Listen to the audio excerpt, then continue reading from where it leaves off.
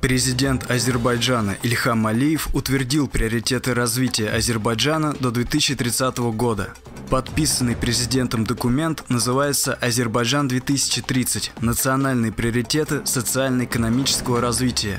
Как говорится в документе, следующие пять национальных приоритетов социально-экономического развития страны должны быть реализованы в ближайшие десятилетия – Первый приоритет – это стабильно растущая, конкурентоспособная экономика. Второй приоритет – общество, основанное на динамичной, инклюзивной и социальной справедливости.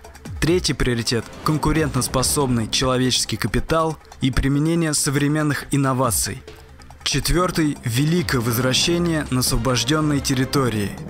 И пятый заключительный – чистая окружающая среда и страна зеленого роста – Основой стратегии является многогранное и последовательное развитие всех сфер общества и экономики в течение 10 лет в Азербайджанской республике. Кабинету министров поручено в 9-месячный срок подготовить и предоставить главе государства проект «Стратегии социально-экономического развития на 2021-2025 годы», соответствующий национальным приоритетам –